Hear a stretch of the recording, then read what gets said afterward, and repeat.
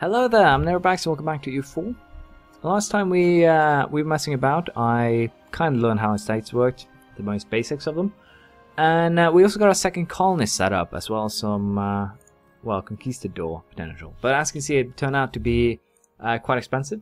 But uh, no biggie, we'll continue working where we left off in the colonizing game. Now, I'm just going to keep on colonizing this entire area because uh, it's kind of neat. Since we have a does the boost not work anymore? Hmm. I'm a little bit unsure, but basically before you could just uh, have two colonies next to each other and they would boost the growth rate. But if that's not the case, then we might just pick otherwise. Now, I'm learning a bit about states. I'm basically having it up on uh, my second monitor, so I can read about that while uh, the colonies and everything goes on. So as the episode here keeps on going, I'm going to learn more about how things work, which is good for us.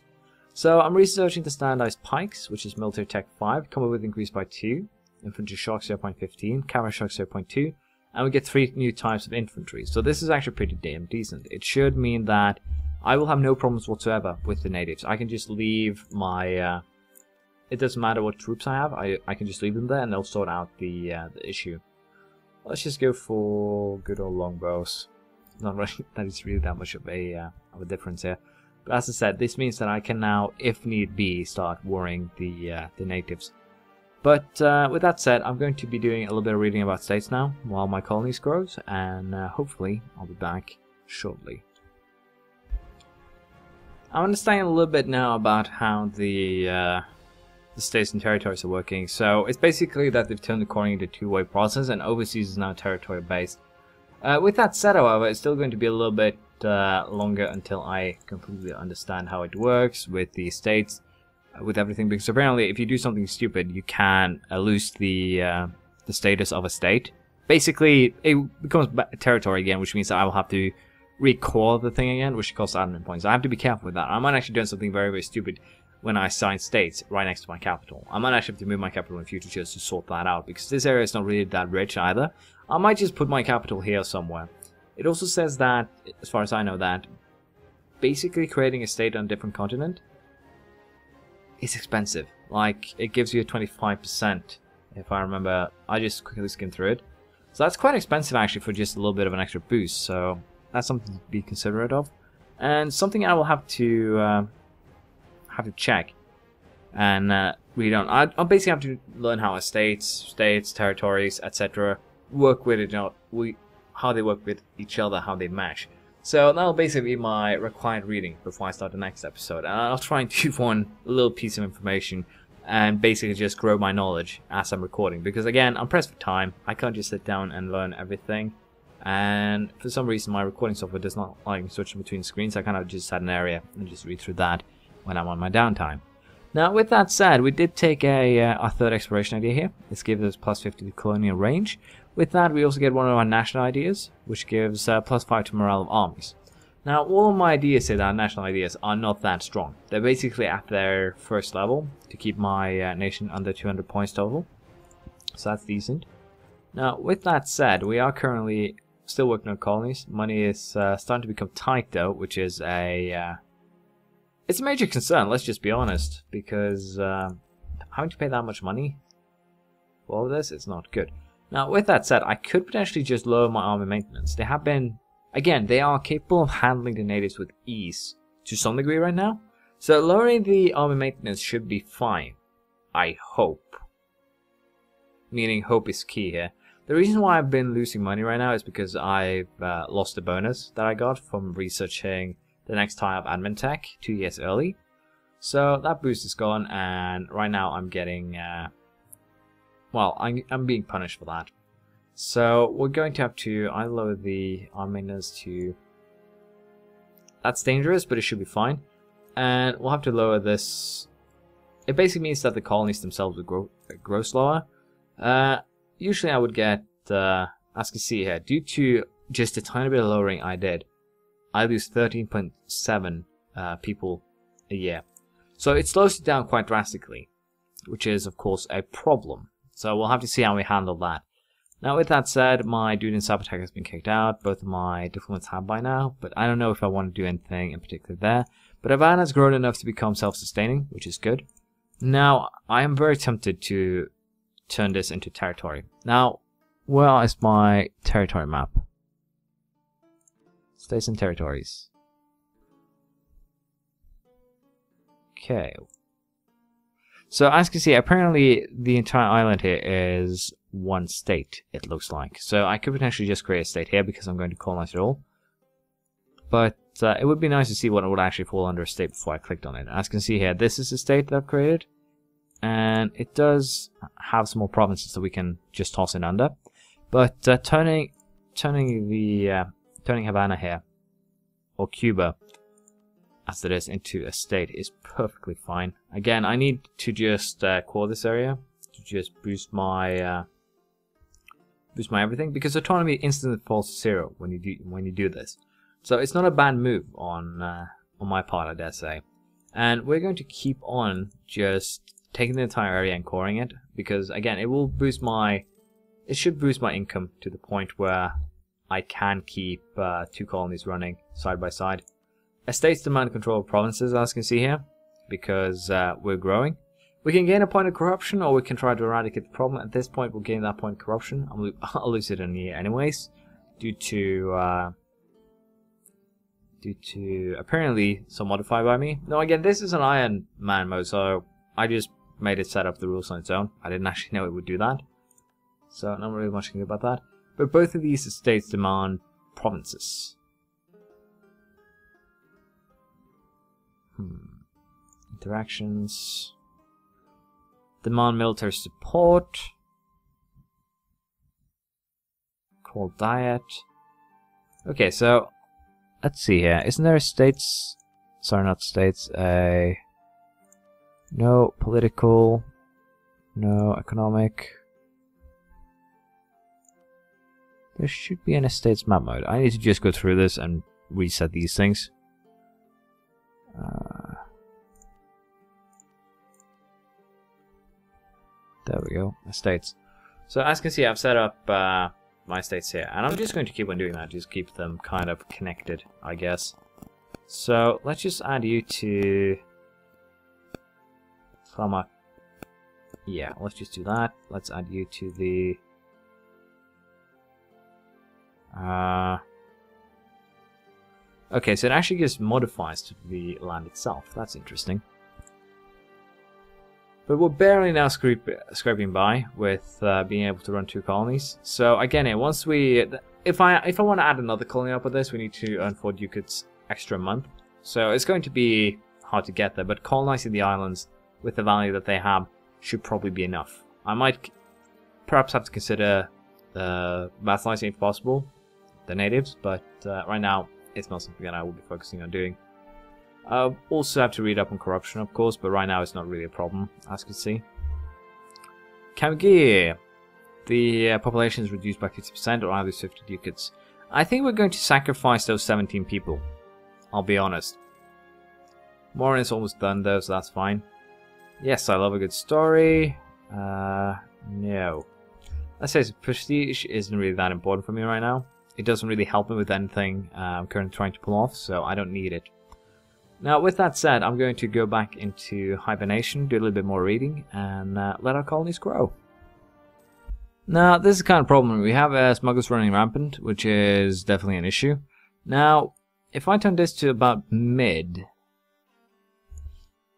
we're going to just do this so I can get the money to actually solve this issue because smugglers running rampant is a 10 year malus that I don't want to deal with right now.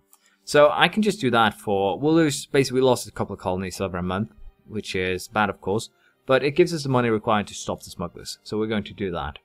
The uh, malus is of course a 10% decrease in both taxes and, uh, and trade, which is not something that would be good right now. It would probably hurt me quite a bit in the long run, as you might imagine. Now, with that said, uh, I realized that with Cuba now being basically our territory, we can start moving. Uh, oh, sorry, the Caribbean. As we keep on growing the Caribbean, we're also going to get full control of the trade node.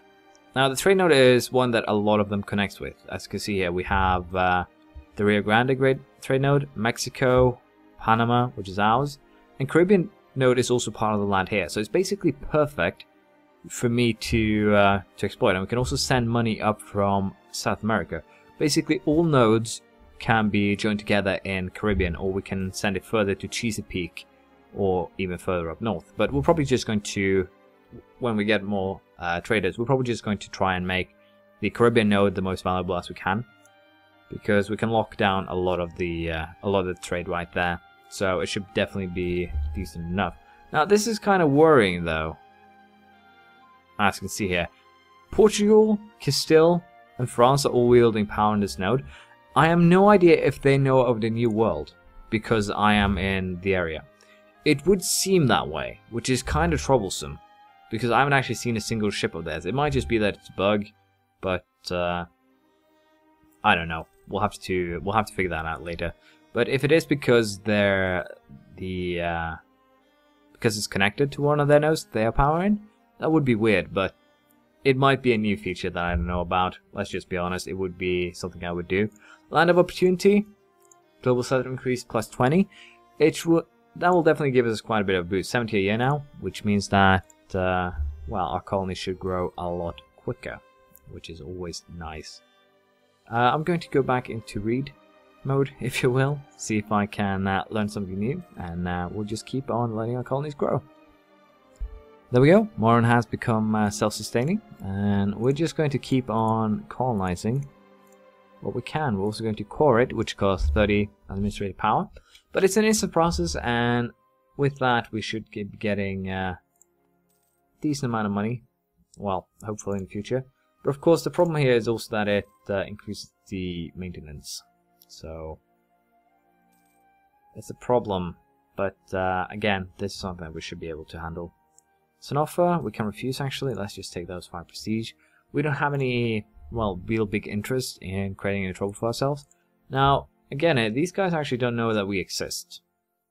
Which is very interesting, because they have, as you could see earlier, they do wield power in the... Uh, they did wield power in the trade node, which is awkward, to say the least. So I guess that's just a... Uh, I guess it, you could just call that a side effect, I guess, of the fact that... Uh, as I said, it's probably just a side effect of the fact that uh, I have Western tech and Western knowledge due to that tech. So uh, I don't know how it will work in the future, but that's how it worked now. Now, again, with that said, we're going to focus on colonies again. I will not be hiring any uh, advisors, although it would help with attack. It's not really... Again, since I'm playing as already westernized, it's not really a big deal. I don't need those extra tech points. I can lag behind a tech or two and still be able to be effective against the Europeans if I can just keep up the colonization game.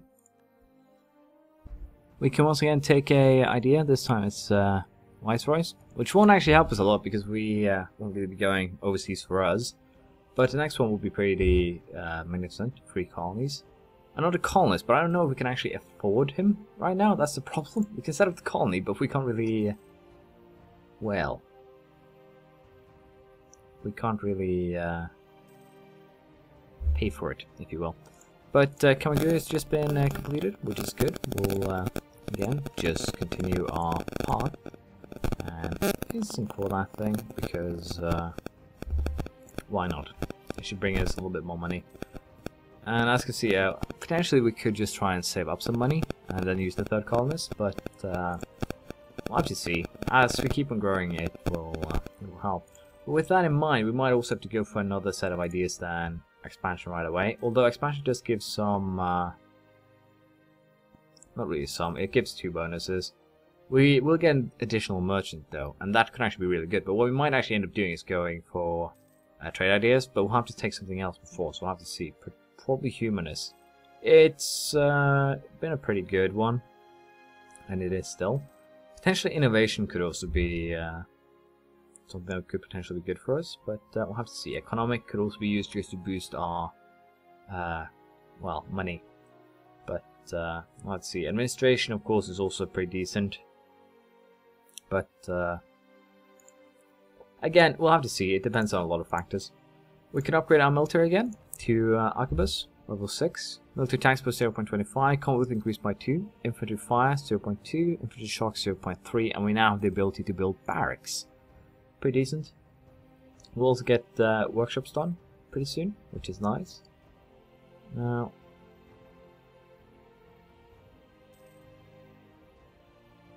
Naval bonus minus 10%. Does this mean that these guys have western eyes?